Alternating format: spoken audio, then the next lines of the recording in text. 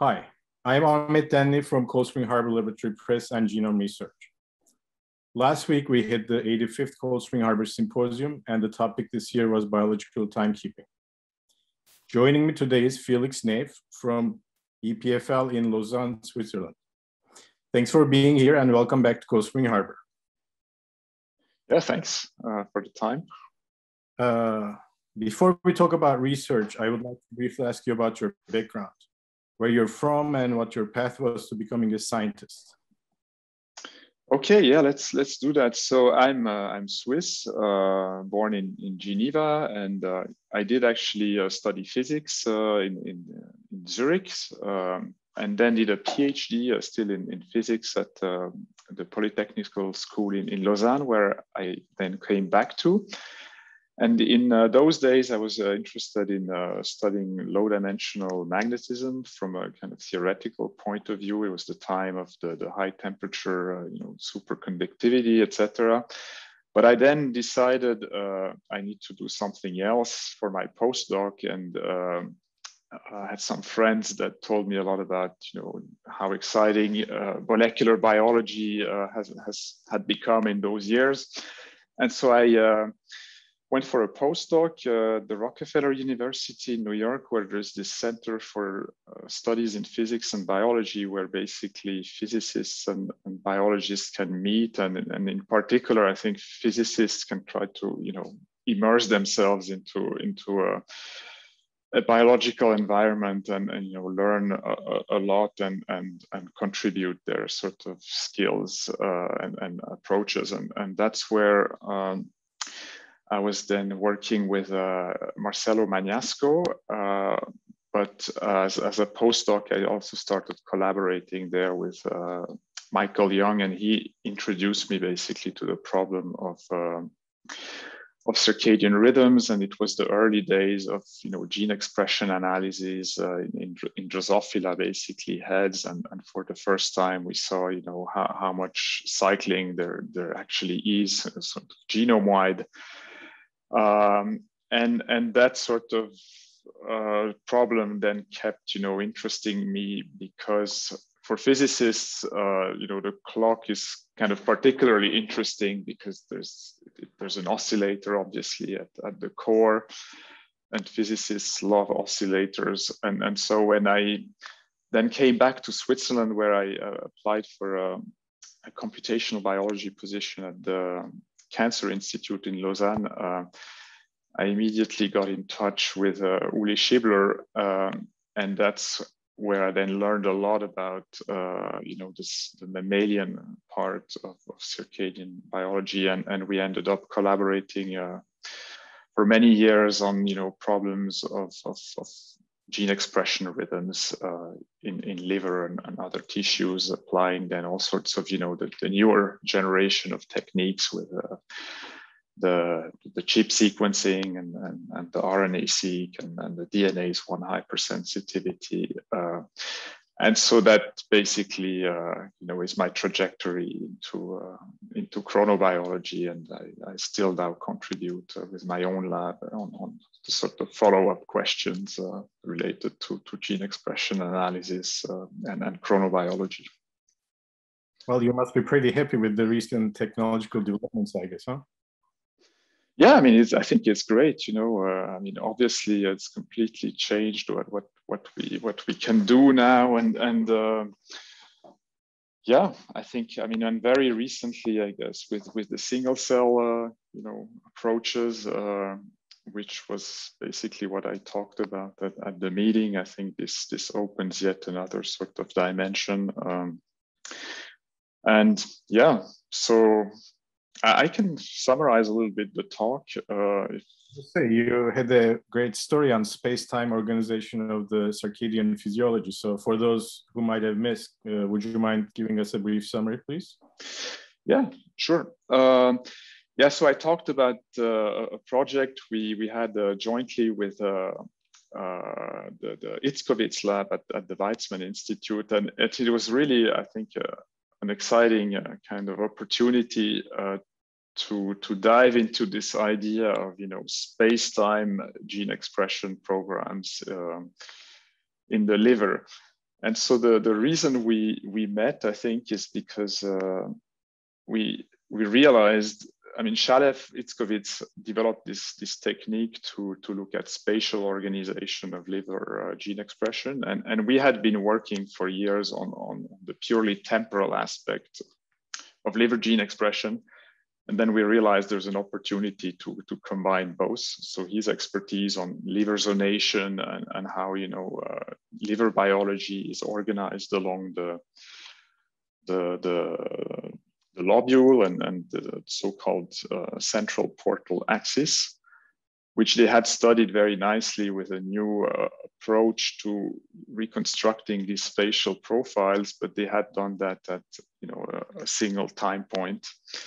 And when I saw this, I said, well, look, Shalev, we have to, you know, introduce the, the temporal dimension in, into this problem. And, and we then uh, teamed up and uh, basically uh, performed this essentially uh, in the first step atlas type of project, which was uh, about just uh, looking for the first time into both space and time gene expression in, in the liver and we really didn't know what what to expect because uh, if you see a, a, rhythm in a in a bulk analysis, you you don't know whether the the entire you know tissue uh, cycles in in that fashion or maybe only sub areas, uh, and and you could imagine all sorts of sort of complex situations where you know at bulk you might see a, a very shallow rhythm.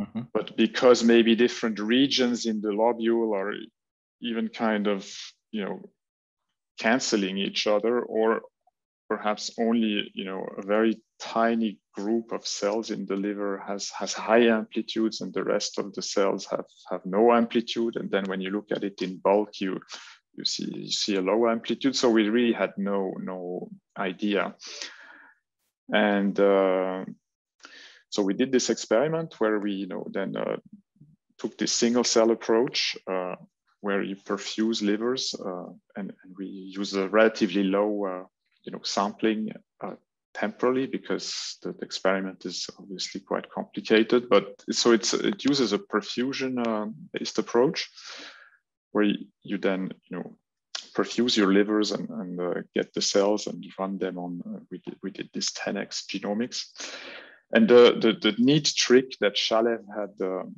developed, uh, which goes under the name of spatial reconstruction, is basically to uh, use landmark genes that you know have, have this uh, zonated pattern, so are more expressed on one side of the lobule compared to the other, or vice versa. Or there's also these mid-lobular genes that peak in the middle. So if you have enough of these, you don't need so many, but let's say, you know, a hand, I mean, 10 or 12.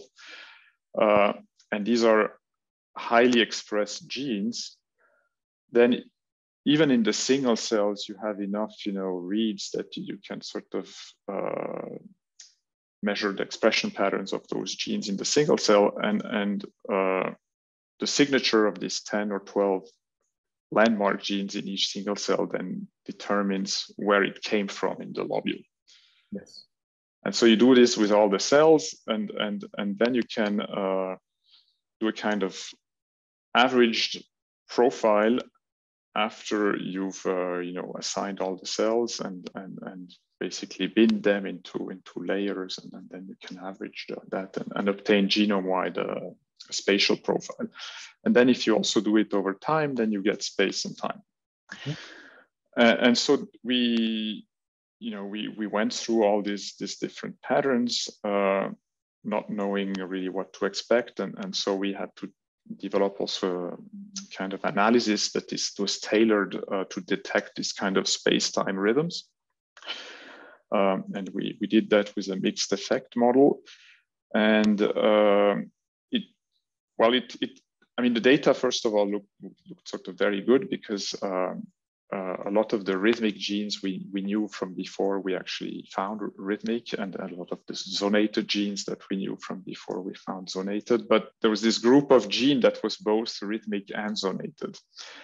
And there were kind of two flavors of those genes, the, the ones we termed Z plus R and the ones we termed Z cross R.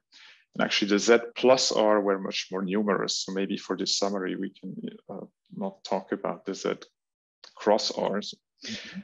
uh, but the Z plus Rs are genes where time and space act multiplicatively.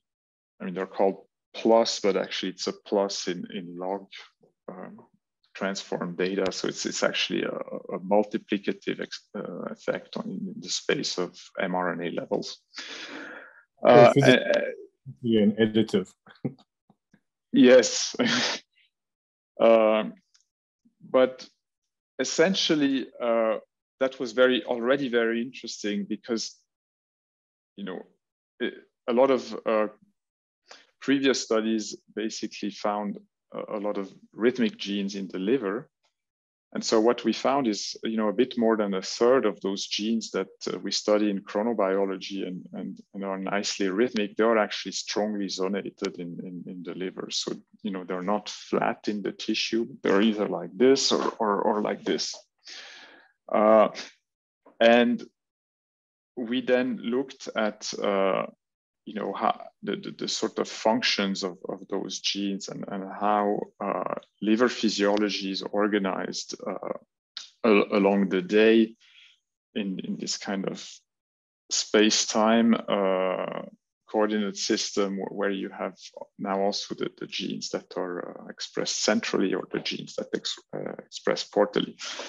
Uh, and and what we what we saw is i mean a, a, couple of things that you know we, we knew and, and made sense, like uh, that, you know, processes like, um, like gluconeogenesis, uh, which are temporarily regulated by, you know, genes like, like uh, PCK1. So for example, Katja Lamia has, has studied this very carefully. Uh, and, and so this, this process of, of uh, gluconeogenesis is strongly zonated portally in, in the liver, but it, it also uh, goes up and down temporally, and that occurs, you know, towards the end of the, the fasting period in, in, in the liver.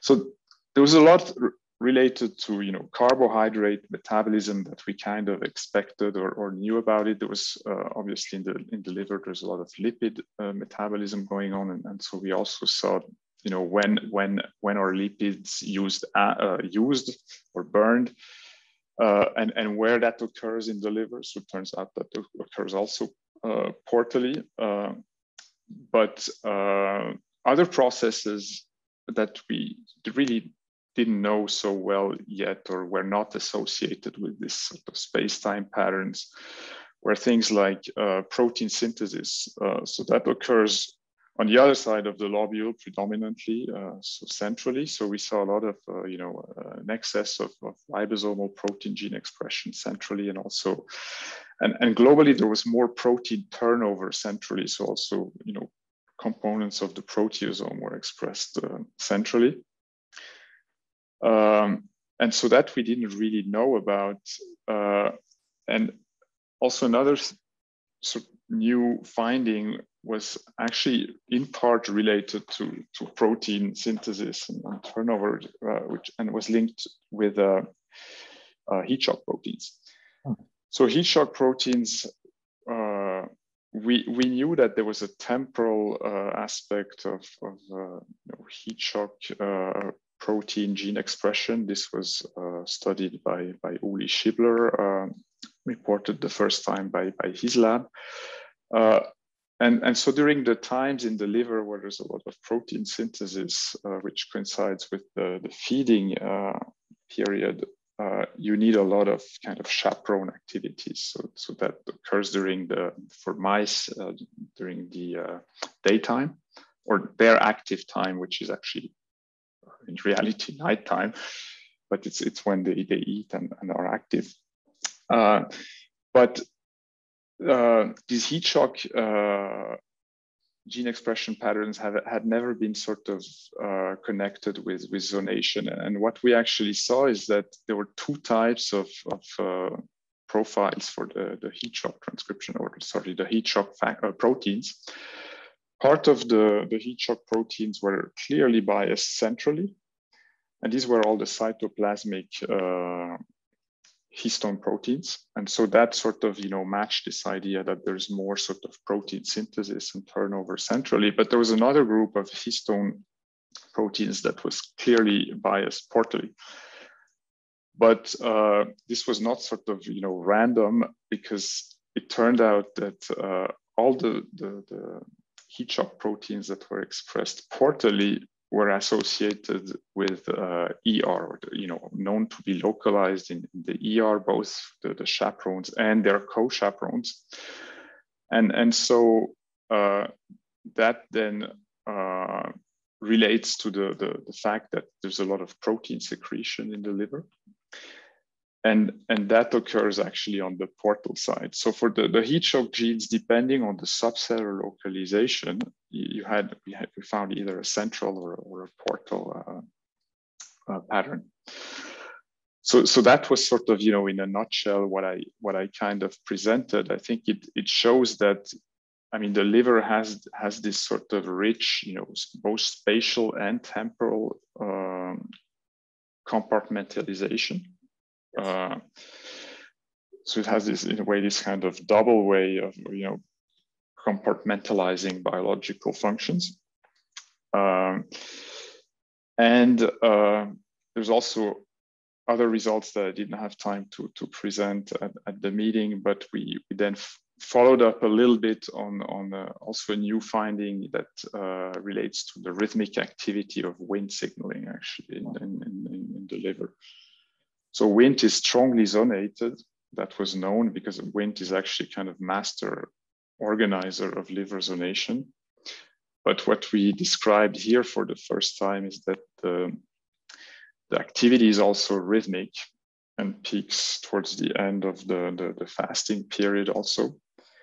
And uh, we did a bit of smFISH analysis to identify basically the, the, the, the putative cause of this rhythmic Wnt signaling uh, because we found that when we looked at endothelial cells mm-hmm. uh, that are uh, centrally localized, I mean, there's also endothelial cells elsewhere, but the, the centrally localized endothelial cells secreted uh, or let's say expressed uh, two Wnt ligands in, in, a, in, a, in, a, rhythmic pattern that sort of matched the, the, the activity time that, that we uh, found for, for Wnt signaling. Actually, I was going to ask now that you mentioned Wnt, and actually in the talk you mentioned the French flag model. Uh, yes.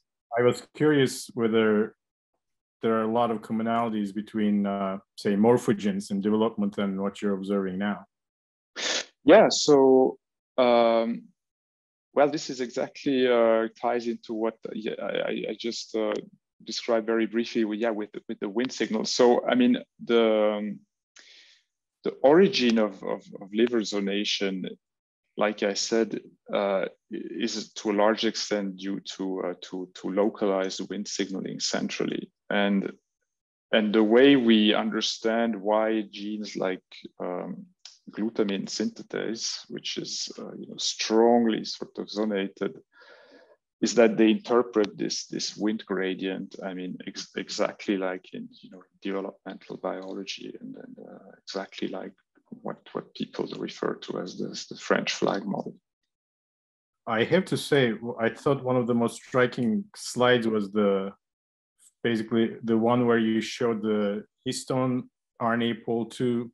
Oh yes, DNA accessibility uh, breathing video that you showed. I think that really got the message across very well.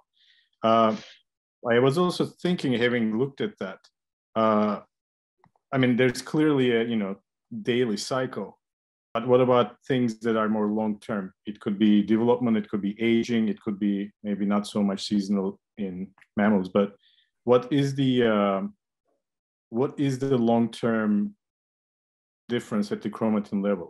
Is it DNA methylation?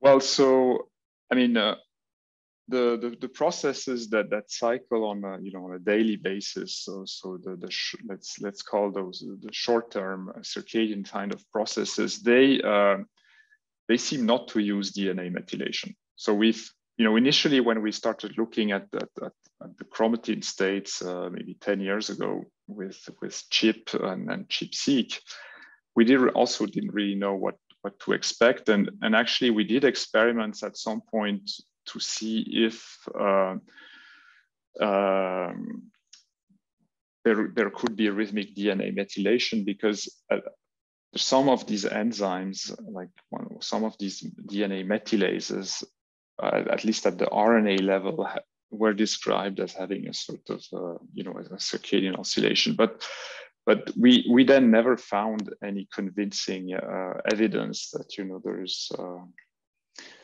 uh, cycling at the level of uh, of DNA methylation. On the other hand, all the the, the histone uh, uh, modifications, including methylation and, and acetylation, and, and uh, I mean they they clearly you know cycle often along with, with transcription. I mean, okay, there's always this question of, of, what is the cause and what is the consequence. Um, but, but clearly, I mean, this, this, this uh, histone uh, states are very dynamic on the 24 hour time scale. I think on much longer time scales, like, like you referred to, I mean, there, I think it's, it's known that, you know, some of these more permanent changes are, are also brought about by, by, by DNA methylation. But, uh, but in the circadian system, that seems uh, you know, not, not to be the case. If you look at it longitudinally, do you see the do you see any change in the amplitude of those uh, breathings of the modifications you looked at? Is you mean with with with age or or? Yeah, I was just curious whether it's some sort of could it be part of timekeeping in the long run?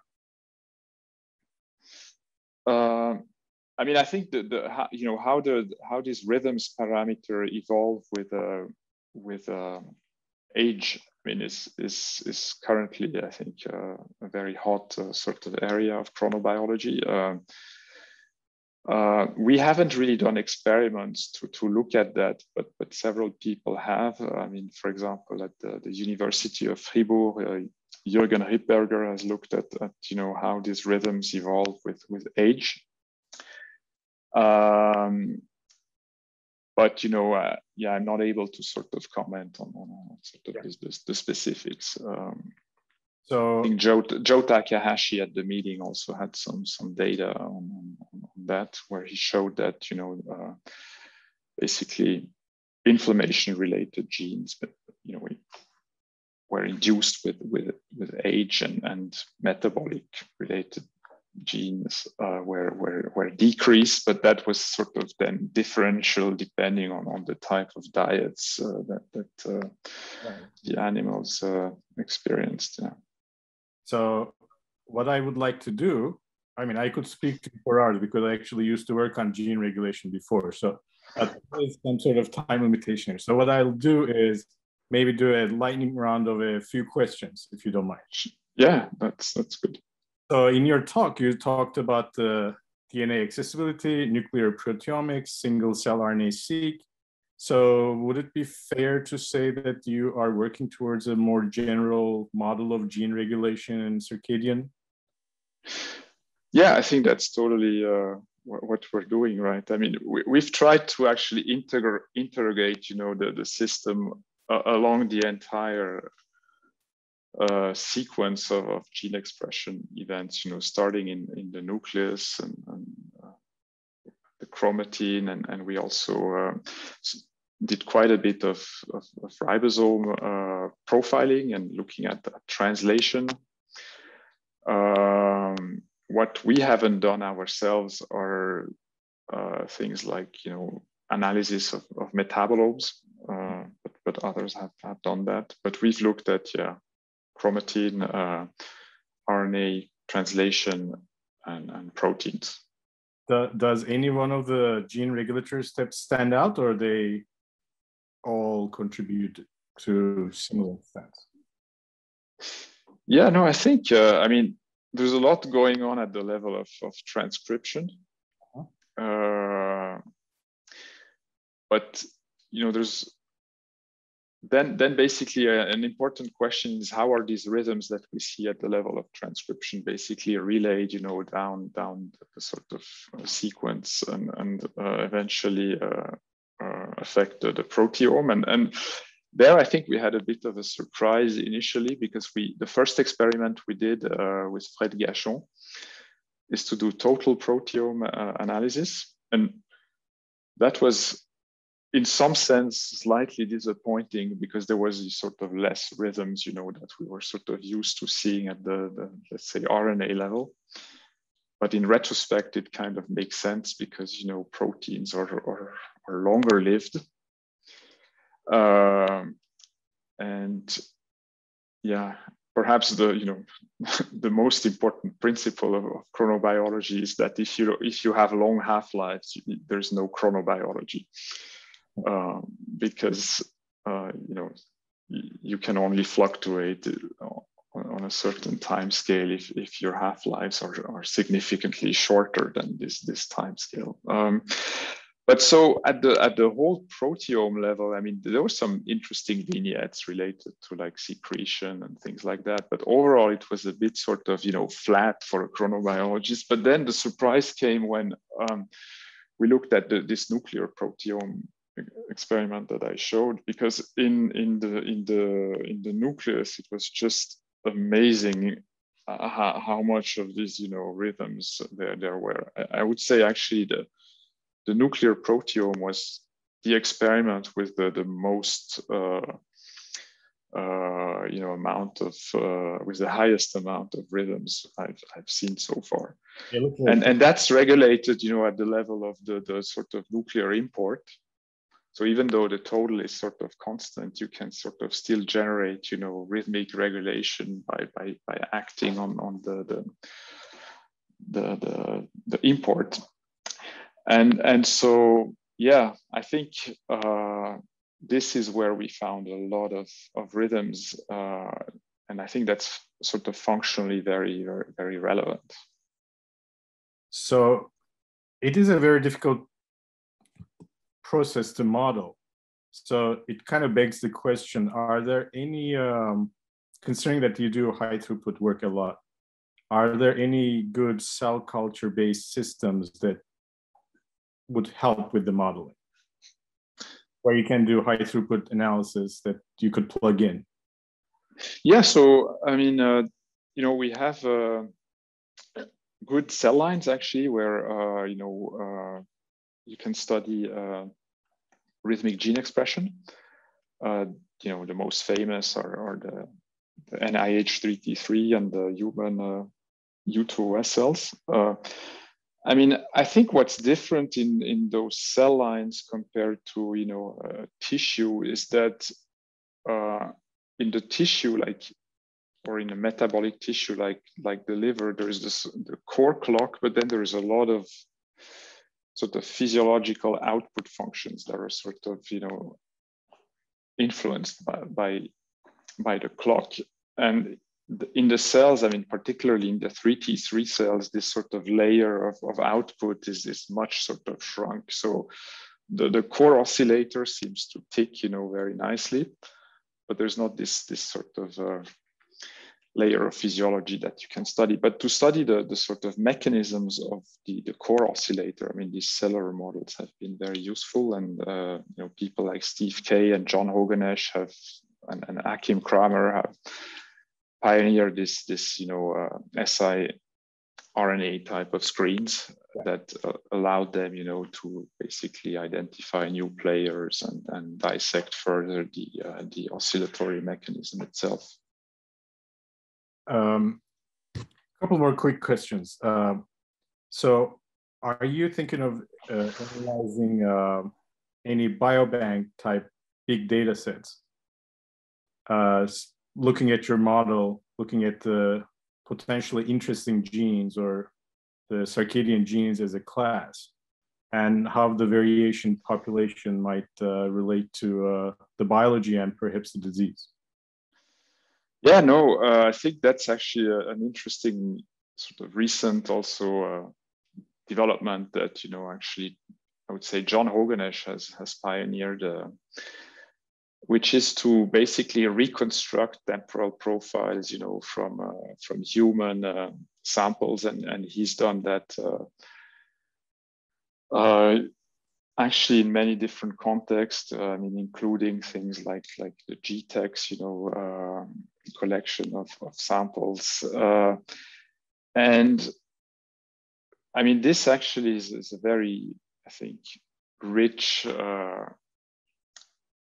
way or you know very sort of nice way in which you can learn a lot about human uh, human chronobiology because the trick is is, is, basically uh, to to assign uh, time labels to to biological samples that you know were not initially labeled with time because they, they hadn't been taken in that sort of context. But there's so many of those you know human samples out there is that looking at the collection of them, you can reconstruct rhythmic gene expression in, in you know a given tissue or in a, in a given disease state, and and you know that in in the context of cancer, for example, has has uh, interesting uh, implications. You can see, you know, to what extent is is the is, is chronobiology basically uh, modulated or, or disrupted uh, depending on, on what type of you know cancer you're looking at. Uh, and I think there's a lot uh, that that is going on currently in this, in this direction. Um, and it's it's I, I find it pretty exciting. I mean, we're now also sort of working on on, on that uh, because it's it sort of combines you know data and, and, and models. So it's because the way you basically reconstruct these, these cycles uh, requires quite interesting also, you know, models and, and present interesting analysis challenges and, and how you do it. And, and now with the kind of, you know, uh, approaches from, uh, you know, data science, I think it, it, it really brings a new sort of uh, angle uh, and, and on, onto these problems. And I think that's going to be very exciting in the, in the coming years. It is very exciting. It looks like, uh, you know, the large amounts of data generated from seemingly unrelated uh, experiments will help with the biological timekeeping, but the reverse is also true. A lot of potentially, you know, experiments might have timing as a confounding factor, and maybe over time the it will be resolved in a much more productive manner. Yeah, I think that's that's that's that's definitely true as well. Yeah. All right, Felix. Uh, I think we'll have to end here. Uh, it's been a pleasure talking to you. Best of luck, and thank you very much. Well, thanks for the opportunity, and uh, yeah, it was a pleasure. See you in the next meeting, mate. Okay, sure. Okay, bye bye.